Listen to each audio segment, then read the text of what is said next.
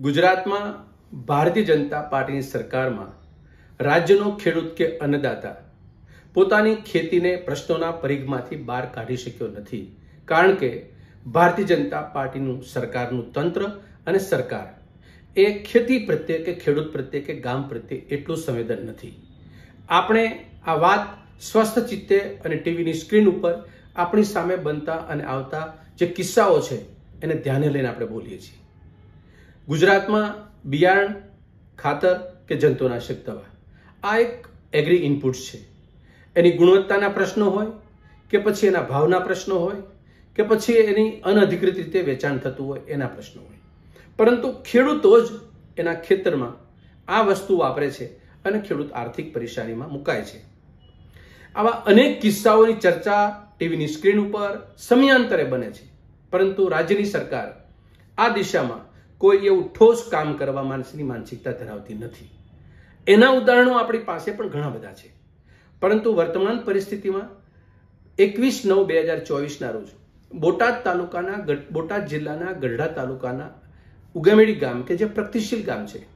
એના જાગૃત ખેડૂત છે શૈલેષભાઈ મોરડિયાએ પોતાના ખેતરમાં ખેતી માટે દિવેલાનો ખોળની થેલી એક થેલી પચાસ કિલોની હોય. એવી એને પચીસ બેગ સરદાર એગ્રો નામની દુકાન ઉગામેડીમાંથી ખરીદી. એ કંપની હતી ટીજે એગ્રો નામની કંપની, જુનાગઢની કંપની હતી. આ કંપનીની પચીસ બેગો ખરીદી અને એને ખેતરમાં એને વાપરવા માટેની શરૂઆત કરી. અંતે એને ખ્યાલ આવ્યો કે આમાં કંઈક ગુણવત્તામાં કંઈક પ્રશ્ન છે. એટલે એને પોતાનું પ્રાથમિક પૃથ્થકરણ કર્યું. અને જોતા એમાં ખ્યાલ આવ્યો કે એક થેલીની અંદર વીસ કિલો જેટલા રેતીને કાંકરા નીકળ્યા. આ બાબત બે પ્રશ્નો ઊભા કરે છે. વેપારી એને દિવેલાના ખોળ તરીકે વેચે છે અને ખરેખર આ બેગ કમ્પોસ્ટ ખાતરની હતી. કમ્પોસ્ટની ખાતરની બેગ હોવા છતાં એમાં વીસ કિલો કાંકરા નીકળે છે રેતી નીકળે છે. બંને રીતે વેપારીએ ખેડૂત સાથે છેતરપિંડી કરી છે. એ કંપનીની ગુણવત્તા ઉપરના એ પ્રશ્નો છે અને જે રિટેલર જે છે, વેચે છે, એ પણ એના વેપાર કરવા માટે ખેડૂતોને છેતર્યા છે. આ બંને બાબતને લઈ ગુજરાત પ્રદેશ કોંગ્રેસ સમિતિએ જિલ્લા ખેતીવાડી અધિકારી અને કૃષિ નિયામકને ફરિયાદ કરી. એના મુદ્દા સાથે સ્થળ તપાસ થવા માટે એની માંગ કરી, એનો જથ્થો સીઝ કર્યો અને ખેડૂતોને હાલની તકે એક આશ્વાસન મળ્યું.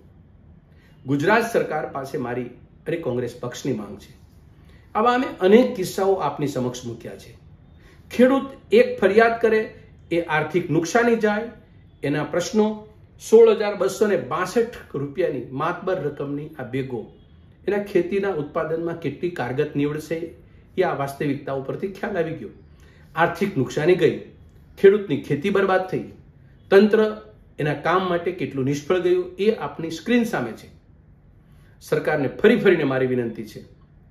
ગુજરાતમાં સરકારી તંત્ર અને વેપારીઓ વચ્ચેની જે કડી છે ને, એ મહેરબાની કરીને ખેડૂતોના હિતમાં તોડવાનો પ્રયત્ન કરો. એની ચાલ ચાલો.